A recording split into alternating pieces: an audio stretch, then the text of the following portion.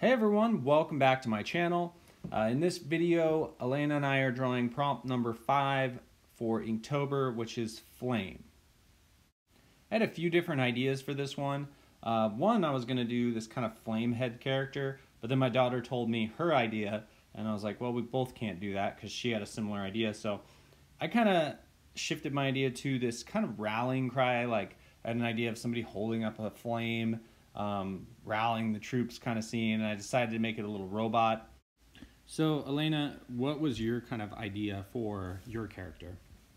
So, one thing that I took my inspiration off of is like an X Men character because like her fire hair, um, and like Oh, so she's kind of like a superhero. yeah, Why is that guy running with it's a me. that you your character caught you on fire? mhm. Hmm. Because I had extra time and I wanted to do something funny. Yeah, I like that. Actually, I didn't even notice that until uh, doing the voiceover, which is hilarious. Is that a little pig guy in the background? Uh, you be the cute little lion. Is it's a lion? So there's a little lion right next to her. Uh, he's like, I don't know. He has like flame fur, Flame fur, nice. and he's So you just kinda- chunky and cute. You And ran round. with the concepts a little bit. Uh-huh. No, that's pretty cool. So you have fun doing this one? Yeah. Are you liking Inktober so far? Mm-hmm. Nice. Uh, so in this part of the video, I am adding in my dark outlines to my drawing. Um, and I actually really like this process. It's pretty, it's just relaxing. You don't have to think about a whole lot. I started this drawing off uh, using the fine tip pen. Uh, it's a double-sided pen I'm using, and there's kind of a brush tip on the other side. Uh, the previous uh, video, I used the brush tip first, which is kind of silly because I can add in all my little details and then do thick outlines and value shading and stuff like that with the thicker brush. Um, and it's easier to cover up those little lines. Uh, so it's a little more forgiving to use the fine tip for your initial drawing. Uh, I am using no pencil or anything, so whatever I put down on paper, I have to live with to some degree. I decided to take this uh, drawing a little bit further. These are still really quick. I think this one took me 45 minutes, maybe, uh, maybe an hour. I added in um, shadows and stuff like that, as you can see, using uh, these markers, uh, alcohol markers. Um, these are from Artbeak.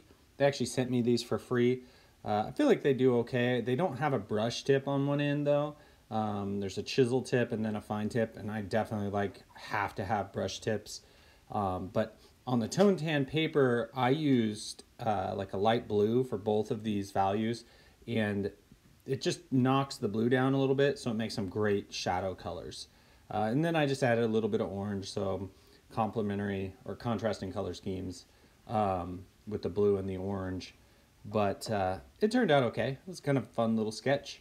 Um, I didn't get too crazy with detail or anything like that. Just uh, wanted to flesh out a little bit better of a drawing than um, I had previously done on for my Inktober sketch. Uh, so right here, this is the previous prompt. Um, I just had my wife film me a little bit uh, on this one, and this is Scallop.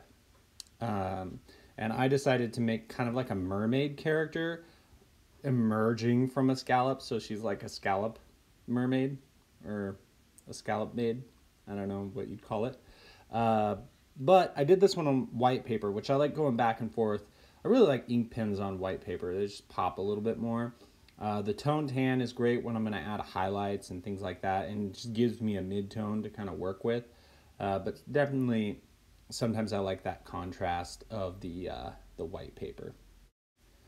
The overall outcome of this drawing, I wasn't super happy with it. Um, I felt like just I don't know, it just wasn't a great drawing. Um, I like I'm still rusty. I definitely feel the rust of not having drawn for a little while. And this drawing, there was just some anatomical like problems with it and things like that. And I just kept at it because sometimes you just try to uh, salvage something. Um, and that's what I was doing on this one. I mean, it ends up turning out okay once I cover things up a lot.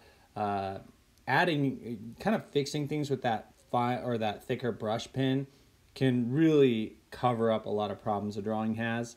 uh, after the fact. So I feel like I like I salvaged it pretty well, uh, especially once uh, you see me here add in the shadows, um, using again like a blue, kind of like a purple, pale purple um, shadow color. I love these colors in markers for adding shadows in. So, um, but yeah, not my favorite drawing, but uh, I'm kind of using Inktober to really like uh, get back on track, kind of work my way back into doing some decent work again. So, uh, anyway, uh, that's these two drawings. I'm going to be working on these all until the end of the month.